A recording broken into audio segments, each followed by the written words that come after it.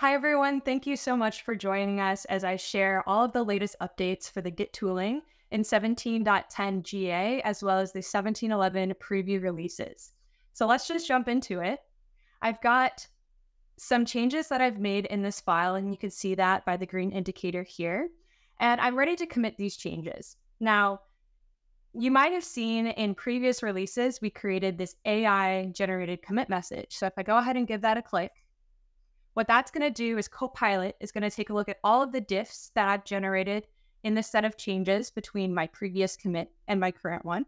And it's going to describe those changes. Now, we got a lot of feedback in the previous release that this description was a little too verbose and maybe added some extra bullet points that we didn't need. So we definitely took that feedback, cleaned up the prompt, and it gave you better responses so that now you have a clear title and a description.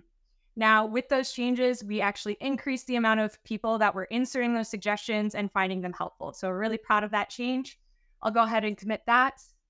And then, if I go ahead and push it, what you'll see is an info bar showing up at the top, coming in right here. And that's going to let us know that we've got this option to create a pull request either in Visual Studio or in the browser. Now, the create pull request page is not brand new, but we did make tons of updates based off of all of the feedback that we got from the team. So now that we have the new pull request page, we're going to go ahead and add a title. You might have noticed a new update here is that I was able to get the template from my repo auto populated in here. And these are going to be the default templates from either GitHub or Azure DevOps.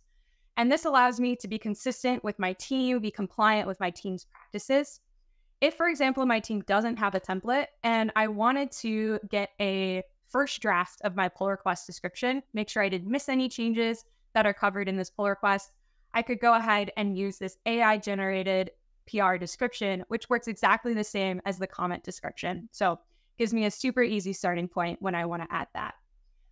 Finally, I can also create these pull requests as a draft. And these were another set of the highest level feedback that we got from the customers when we created this feature. Additionally, if you're using Azure DevOps, you'll see an additional area in the related items section that allows you to link those items so that you don't have to do that in the web. So I won't show that here because this is a GitHub example, but keep that in mind. That was another highly requested feedback item.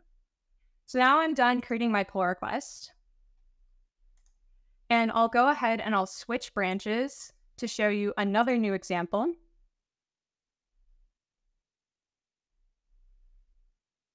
And this feature is something I'm really excited about. If you're anything like me, when you create a pull request item, it can be really annoying to actually address those comments. You have to open up Azure DevOps or GitHub in the browser and then you have to map all of the locations of those comments and changes back to the code. And that is just a lot of time taken kind of switching context between the two.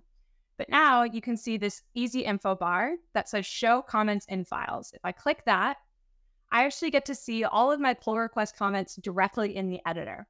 This not only gives me the ability to cut out that context switching, but I get all of the benefits of being in my favorite IDE. For example, I'll share some really quick editor tips um, that are brand new. So I'll show you, I can use the new auto surround feature that allows me to just highlight a bit of text and then click on the quotation mark and that surrounds that text with the quotation and adds it on the beginning and the end. Previously, if I were to do that, it would have erased the text that I had highlighted. So this is a super quality of life improvement. And then if I finish those off, I'll have addressed this comment by my colleague that mentioned that I didn't use uh, the correct quotations, and so it wasn't going to render correctly. So now I have that added, and I'm ready to resolve that comment.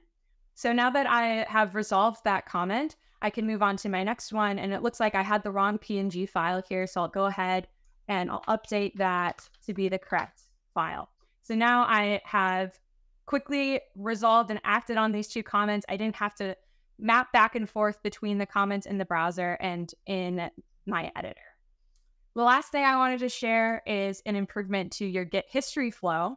So, for example, if folks didn't use our handy commit message feature, they might not have included enough context in their commit to actually help you understand what happened in a given block of code. So if I go ahead and open up an example here,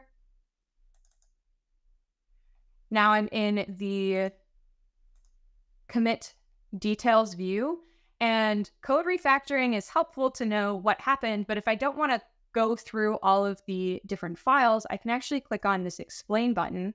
And that's going to take the same algorithm that we use to grab all of the diffs and describe those and give me a better description, including references to the files that changed, the lines that changed, so that I can get a better overall view and I don't have to go through and understand exactly what happened by looking through the diffs by themselves. So this just gives me a better overview and I get more information than I would have just from the code uh, commit message by itself.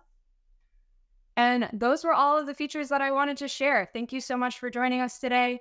And I hope you found some cool new Git tooling features that you're going to leverage in your everyday workflows.